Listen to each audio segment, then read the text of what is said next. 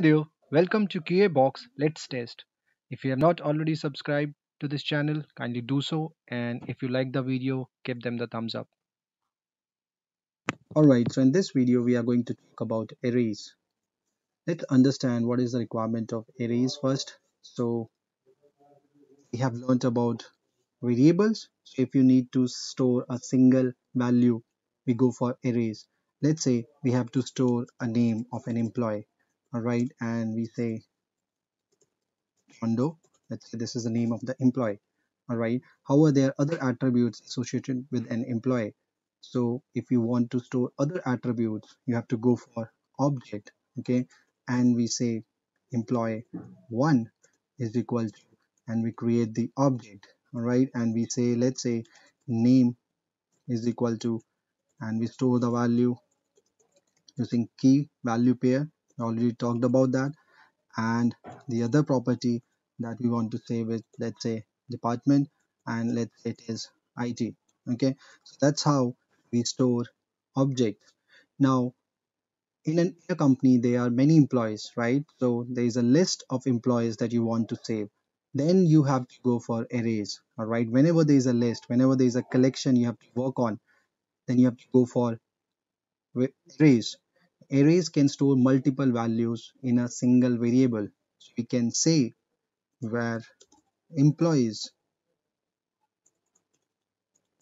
is equal to all right and this is the syntax that you have to use two square brackets all right and inside that you can store as many objects as you want okay. So this is how we create array.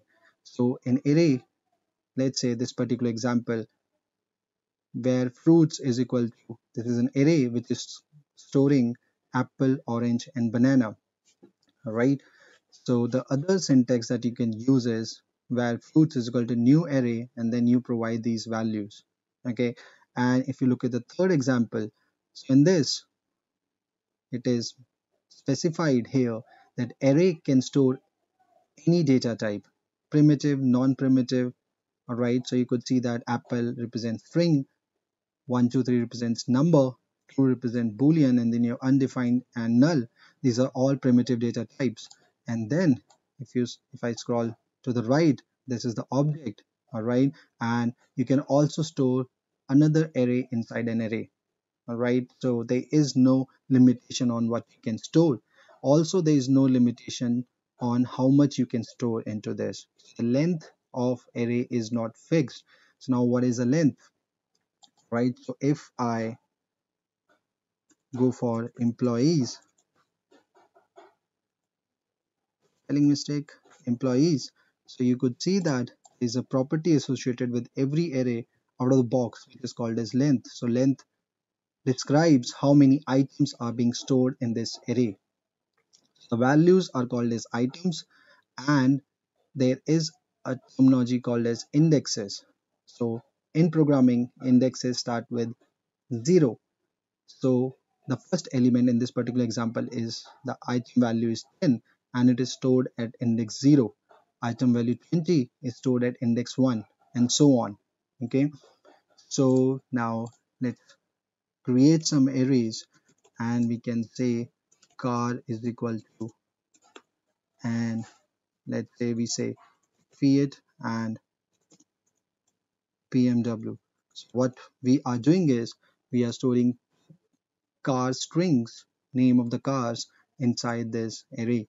And we can access it by the variable name or symbol name car all right and at index 0 the value Fiat is stored.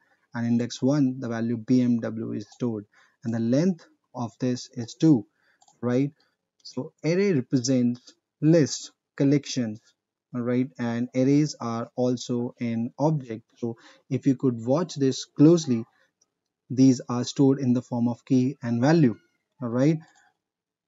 And we can also we have learned that we can also add new keys to an object okay?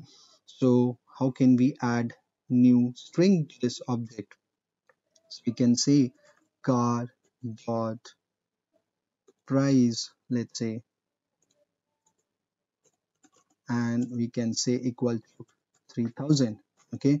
So now if you look out for this object you see that one more property is added okay? Now how to retrieve value from this array? By using computed member access operator okay? So you say car 0 it will return you the value stored at index 0 if you say car 1 the bmw value is returned okay?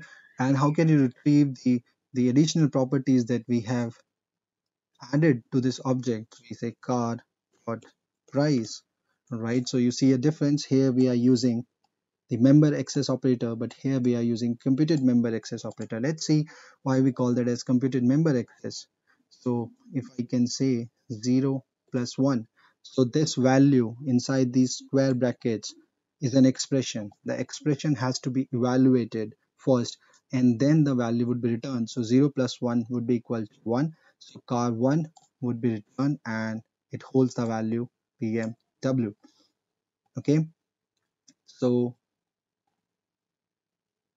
arrays are objects they represent list. You can store any values based on the indexes alright?